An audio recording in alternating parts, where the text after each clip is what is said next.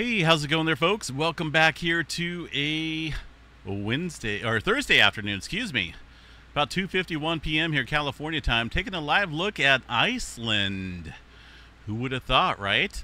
Looks like it has finally went once again after being under quite a bit here of inflation recently. Uh, this is definitely a spectacular uh, fountaining display being observed out here across Iceland right now. Uh, very vol- a lot of volume of magma coming up and creating these beautiful lava fountains here. As, it, as you can see, it goes on and on and on. This is the live from Iceland site here.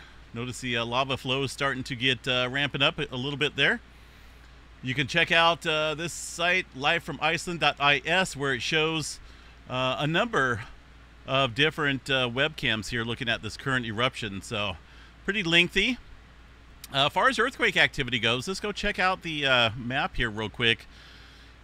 And uh, wow, yeah, we definitely seen a, uh, a bunch of earthquake activity here, although not quite as much as what I would expect prior to uh, seeing the eruption occur here. About 128 earthquakes on this map of various magnitudes, and it looks like the eruption is in the same region as the previous eruption here around the craters area. Uh, let's go ahead and see if there's any update yet put on uh, the Icelandic Meteorological Office here.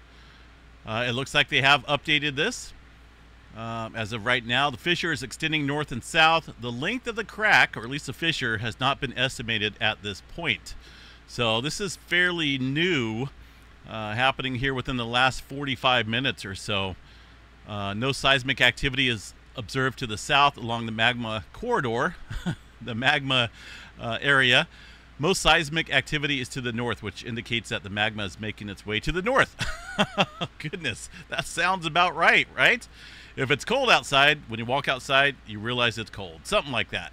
Um, this is just being translated here from Icelandic to English. That's why the wording is off a little bit. Either way, uh, the source here is just east of the Sýlingarfell region.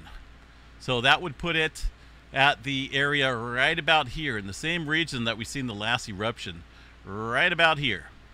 There's Sýlingarfell. I had a little bit of concern though that we would see maybe a fissure event take place further down south here due to all the elevated earthquake activity recently, but uh, uh, that's good news here that it's happening up north in the craters area. So we'll continue to watch that and monitor it. Again, uh, beautiful display of fountaining going on there across Iceland. Uh, this could last for a little while because uh, well over 20 million cubic meters of magma underneath this area, and in fact, the highest level observed, uh, more so than any other eruption here in the past few months.